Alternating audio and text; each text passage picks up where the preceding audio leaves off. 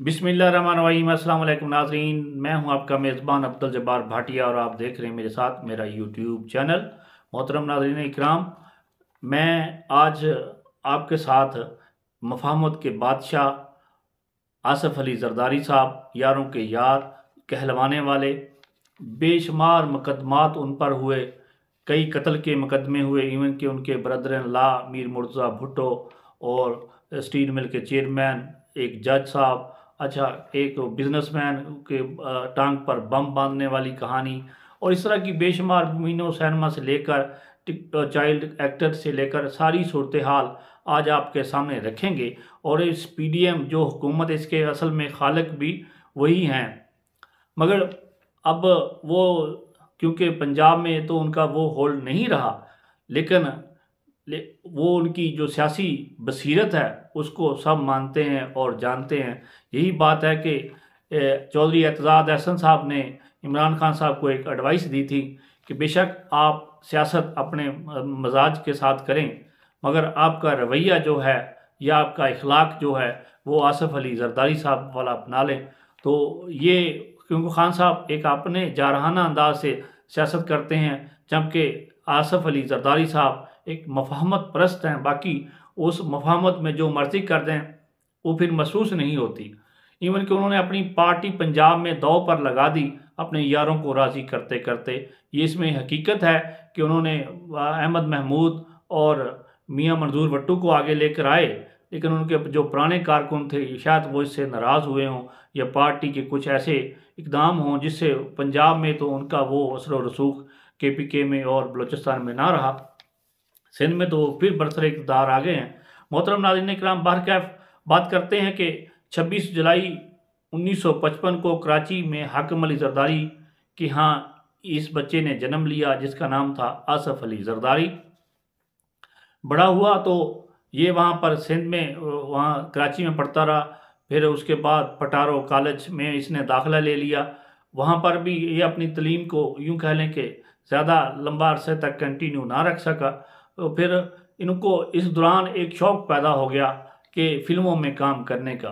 फ़िल्मों में काम करने का ऐसा कि ये बमीनो सैनमा में गए, वहाँ पर पहले काम स्टार्ट किया, फिर कहते हैं कि ये थोड़ी सी मुतजाद इतलात हैं, लेकिन हैं ऐसे ही जैसे मैं आपको बता रहा हूँ कि वहाँ पर फिर ये टिकटों के क्लर्क हो गए और फिर जो काशफ इम्तियाज़ साहब थे, शेख काशफ इम्तियाज़ साहब इसके मालिक उनसे इनका कोई मुआदा हुआ, वो तो कुछ और लिखते हैं, वरना लेकिन इन्होंने कहते हैं कि हमने उनसे ख़रीद लिया और फिर इसका अफ्ताह भी हुआ हाकम अली जरदारी साहब ने।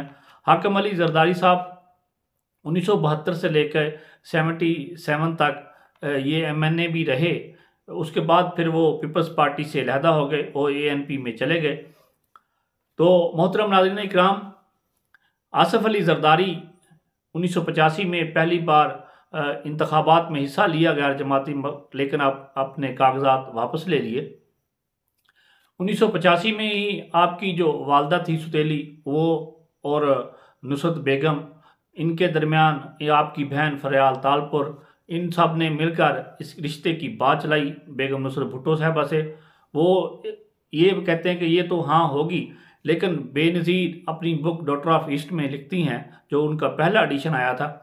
कि मैं उन्नीस सौ पचासी में लंदन में थी कि शहद की मक्खी ने मुझे काट लिया, मेरी उंगली पर सोजिश वगैरह आ गई थी। तो मुझे कोई लेकर जाने वाला हॉस्पिटल में नहीं था। वहीं इसी असना में आसफ़ अली जरदारी आए और वो उनको हॉस्पिटल ले गए। इससे फिर आगे बात बढ़ती गई और वो रिश्ते अजवाज में मुंसलिक हो गए। उन्नीस सौ सतासी में इनकी शादी हुई और फिर उन्नीस सौ सतासी के बाद ये फिर उनके बेटे माशाल्लाह बिलावल भुट्टो और फिर बख्तावर, फिर आसफ़ा पैदा हुई। फिर उन्नीस सौ अठासी में आप पहली बार वज़ी अजम बनी और फिर आसफ़ अली जरदारी साहब उनके साथ ही थे।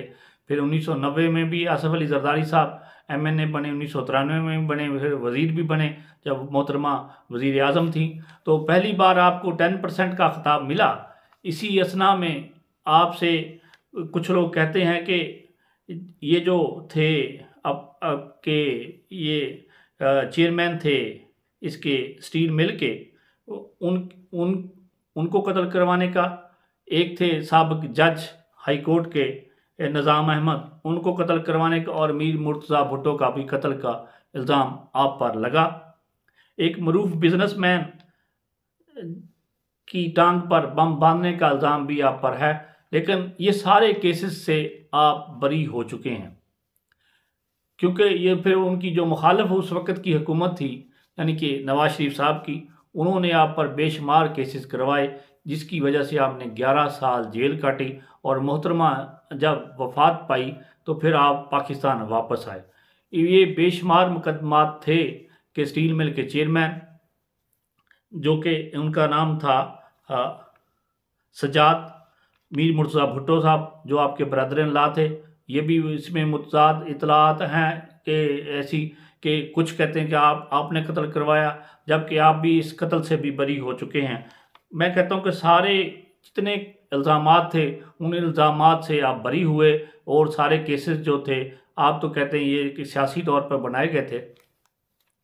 मोहतरम नाजन कराम ग्यारह साल जेल काटने वाले ने वापस आए और उसी क्योंकि 2007 सताईस दिसंबर को मोहतरमा बेनज़ीर साहिबा रावलपिंडी में शहादत पा गई थी।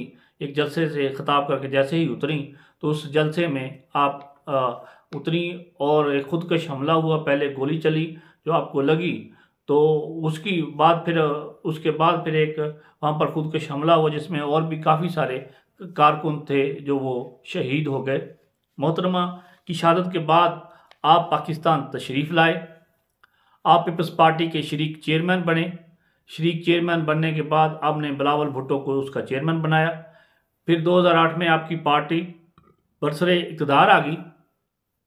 बरसरे इकतदार आने के बाद यूसुफ रजा गिलानी साहब आपके वज़ी अजम बने आपकी पार्टी, पाकिस्तान पीपल्स पार्टी के।